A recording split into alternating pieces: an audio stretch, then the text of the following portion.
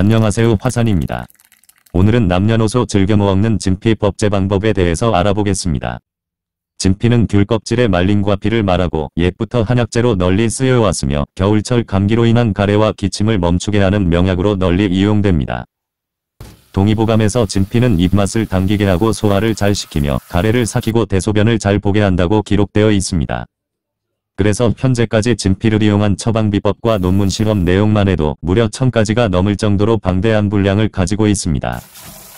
진피는 쓰고 맵고 따뜻하며 비와 폐에 작용합니다.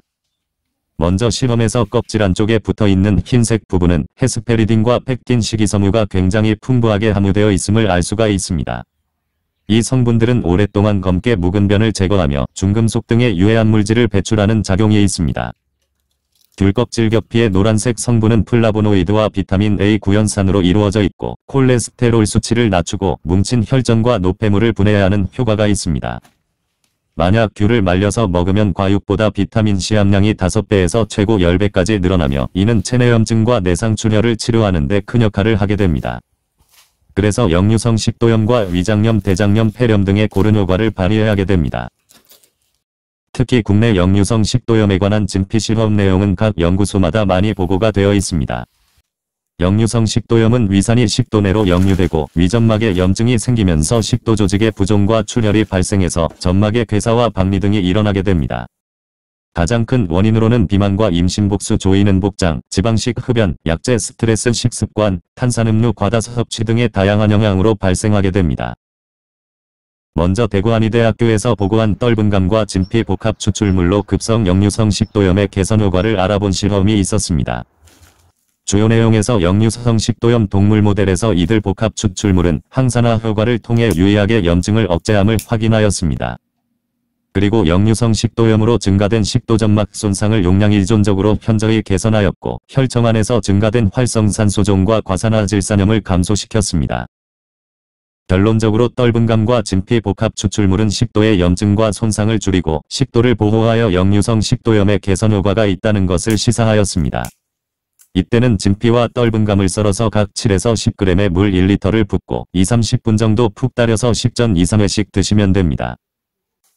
대한한의학회에서 진피복합물은 복통과 속쓰림 소화불량, 식욕부진 불면증 등을 포함한 환자의 자각 증상이 거의 소실되었습니다. 특히 진피와 대추 황련 등의 복합 추출액은 위장의 출혈성 침식과 위점막 손상, 궤양 및 출혈성 찰과 시 누출되는 혈액세포와 비만세포가 모두 현저히 감소하였습니다. 그래서 위점막의 손상을 줄여 위와 식도의 역류질환을 개선시킬 수가 있고 추가 약재로 복령과 창출, 황련 감초 대추 생강 등이 사용됩니다.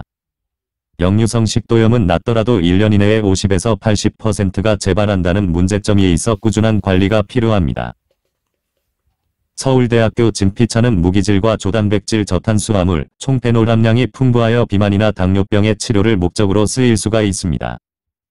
그리고 충북대학교 비만 여성에 대한 혈중 지질을 분석한 결과에서는 체중 및 체지방률, 콜레스테롤 중성지방의 긍정적인 효과가 더욱 크게 나타났습니다.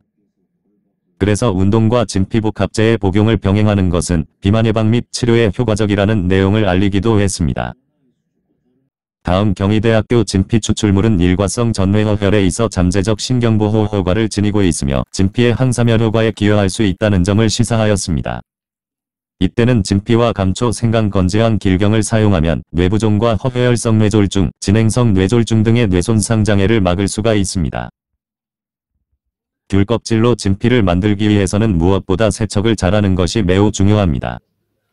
먼저 귤 껍질에 묻은 농약을 제거하기 위해서는 물에 잠길 정도의 양을 부어주고 소금을 한 스푼 정도 넣어줍니다. 그리고 10분 정도 물에 담고 놓은 뒤에 소금이 다 녹았다면 1분 정도 흔들어주면 거의 대부분은 농약 성분이 깔끔히 빠지게 됩니다. 건조는 햇볕에 3-5일 정도 식히면 되고 껍질 한쪽을 먼저 말린 다음에 다시 뒤집어서 겉피를 나중에 말리시면 되겠습니다. 말린 것은 잘게 썰어서 습이 없는 곳에 저장해 놓고 필요시에 꺼내어 쓰시면 되고 생강을 배합하면 기침과 감기에 잘 걸리지가 않게 됩니다. 눈앞이 흐려져서 잘 보이지라는 호남 증상과 눈물이 많이 흘러나올 때는 진피와 황련을 같은 양으로 가루내어 물에 타서 마시면 됩니다. 진피는 특별한 부작용은 없으나 너무 장기간 먹게 되면 위장에서 수분과 염증을 모두 제거해 진액이 마르는 현상이 발생하게 됩니다. 그래서 위장이 굳어가는 현상이 발생할 수가 있으니 이 점 주의를 하시길 바랍니다. 시청해 주셔서 감사합니다.